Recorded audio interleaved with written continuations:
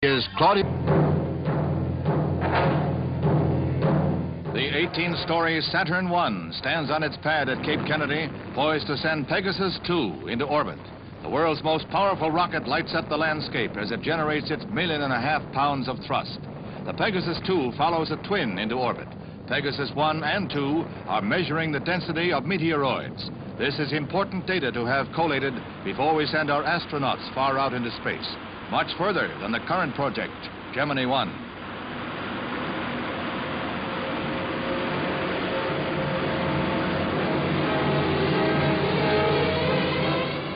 Animation shows how the Pegasus goes through its paces once the hydrogen-powered second stage puts it into orbit, an orbit ranging from 316 to 460 miles high.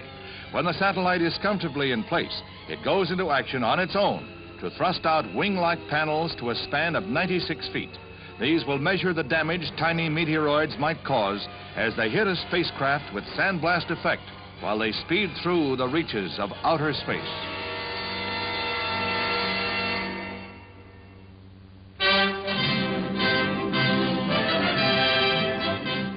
President Charles de Gaulle makes a five-day tour of France through four departments, and he makes it under stringent security provisions. Ever since he assumed power, de Gaulle has walked in the shadow of assassins. The extremist groups that railed against the settlement in Algeria have stalked de Gaulle since he was elected president in 1958. As this tour was drawing to a close, 11 extremists were rounded up by his security forces, including two high police officers responsible for his safety. De Gaulle shrugs off these attempts on his life with Gallic fatalism, though he does take the precaution of surrounding himself with bodyguards.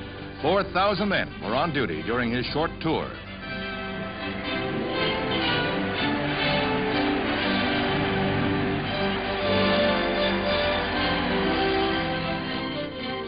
At Saint-Gilles, he finds time to greet the fishermen just like an old-time campaigner. This is not supposed to be a political trip, but de Gaulle faces a coming election, and it pays to get around a bit.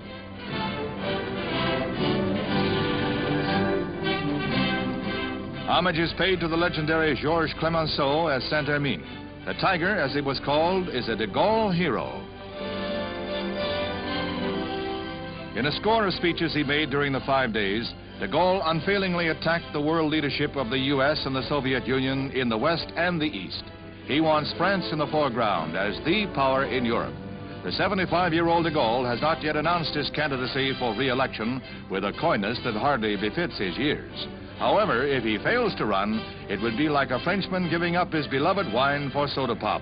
Impossible.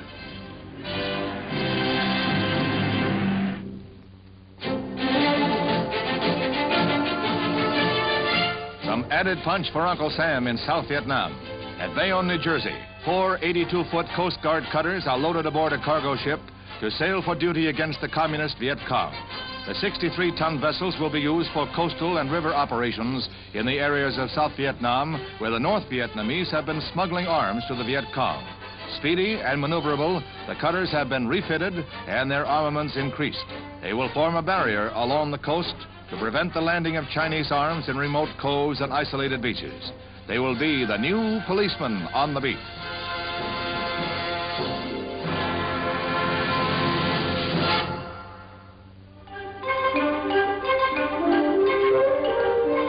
Once the helicopter was looked upon as a slow but reliable workhorse. No more. At Oxnard, California, they unveiled new refinements on the Army Lockheed XH-51A. The craft goes aloft with test pilot Donald Segner at the controls for this first public demonstration. In one recent flight, the same pilot flew the chopper at an incredible 272 miles an hour. Today, he sort of loafs. In a couple of zooming runs, Segner sends the copter along at a mere 240 miles an hour. It's the beginning of another new era in aviation.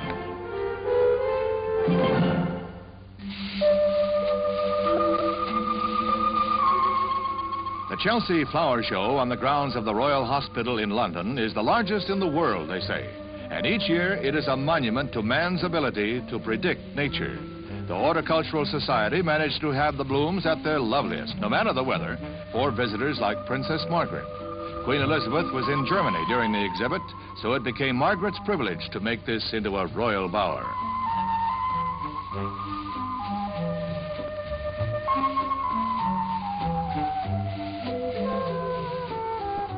The Queen Mother is also an attentive viewer of all this beauty.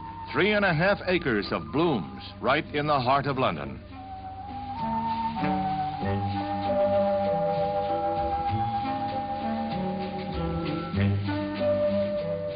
The beauty of the flowers is almost enough to discourage the amateur gardener, but he goes home determined to do as well in his own backyard.